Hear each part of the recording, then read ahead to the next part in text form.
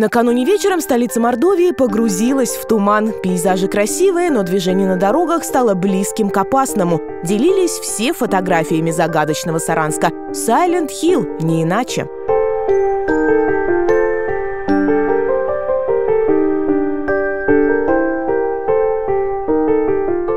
А вот уже на утро город покрылся инеем. Красота, да и только. Первый крепкий мороз отметили все жители.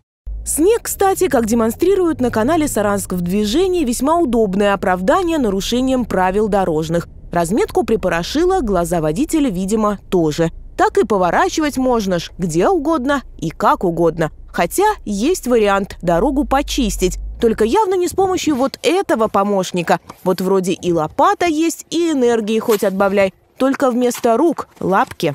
Кстати, зимой можно не только убирать снег, но и наоборот закапывать и закапываться. Вот Булат Азимов показывает, как развлекается целая компания детей и взрослых. Кстати, и снегопад можно устроить своими руками. Тренироваться физически зимой прямо на улице тоже можно. Любой снаряд имеет место быть. Вот этого молодого человека снег нисколько не смущает.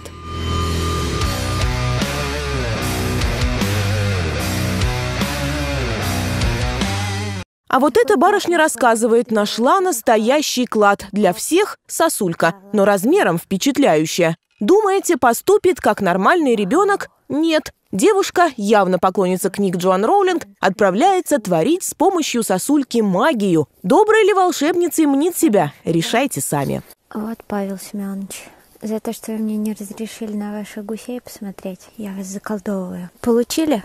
Как вам домик такой теперь? Зато забор починила, и лавочку в нужном месте поставила, и кошку там, где хотелось, материализовала. Круто я умею, да?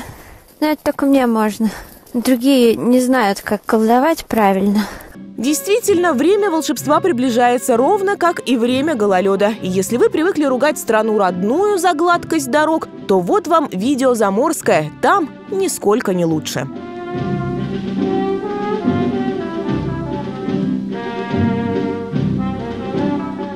Гололед сделали. Гололед везде одинаковый, только мороз может не только дороги в зеркальную поверхность превратить, но и красоту сотворить. Попробуйте однажды в минус 30 надуть мыльный пузырь. Впечатлитесь!